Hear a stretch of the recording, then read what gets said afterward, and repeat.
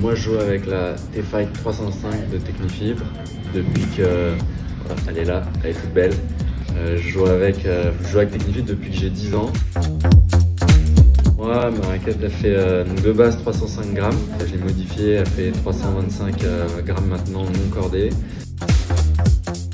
Je refais corder mes raquettes à chaque match. J'en fais regarder deux ou trois quand c'est des matchs en, en 2 sets gagnants. J'en fais corder voilà, 4-5 quand c'est en 5 sets. Et...